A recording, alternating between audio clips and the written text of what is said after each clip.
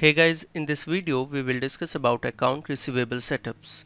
Here we create bank account where we assign BU APR accounts. Then we'll move to distribution code setups where accounting templates needs to be assigned. Then we'll move to receivable BU setups where location code, GLBU, distribution code, etc. to be assigned. And finally test configuration by creating an item, pending item, etc. Let's get started. Create an external bank account. Navigate to main menu, banking, bank account, external account. Here we search for an existing account TCH1 to review.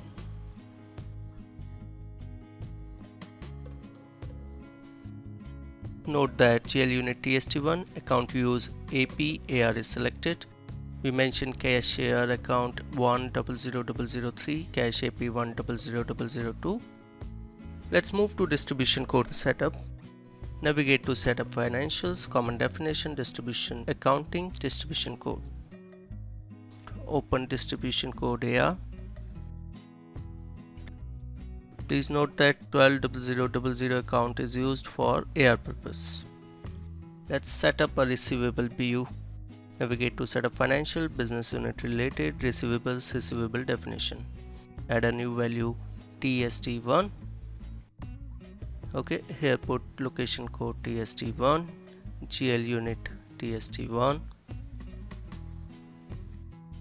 Go to accounting options. Mention AR distribution code AR save it.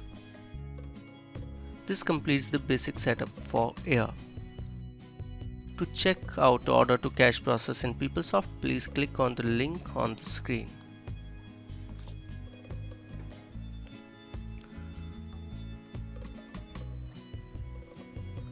Let's validate the setups now. Create a pending item. Navigate main menu, account receivable, pending item, online item, group entry. Add a new value. Group unit TST1. Click add. Mention group type, billing, origin ID, online billing. Say amount uh, 1000, count 1 go to pending item 1 put an item ID mention amount 1000 USD as currency mention entry type DR AR distribution AR selected mention any customer amount then save it now we have a group entry item created. Click balance. Now post now to journal click ok. Refresh.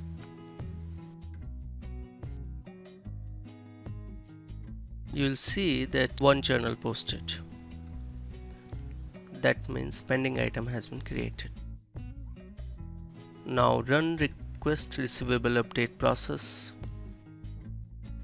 navigate to main menu account receivable receivable update request receivable update.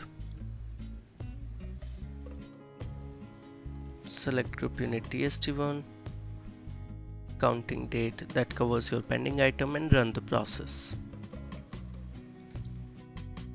Go to process monitor. Check for process to be in success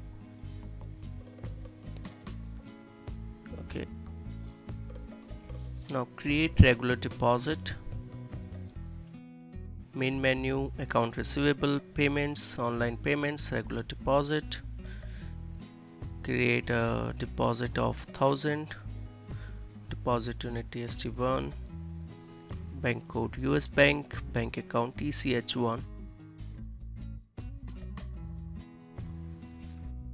deposit type customer receipt control total amount 1000 count 1 go to payments page amount 1000 payment id any random id at this stage current currency USD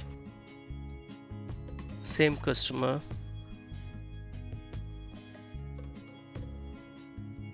business unit TST1 save it.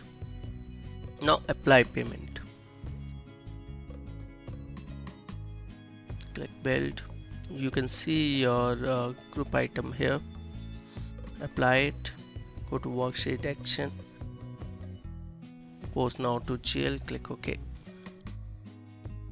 Let's check posted journals. Go to main menu general ledger journals create updated journals. Search for today's date. You'll see two journals created one from AR billing that is from pending item and another is from deposit. AR payments. This completes the process. That's all in the video. If you like the video please subscribe the channel and stay connected. Thanks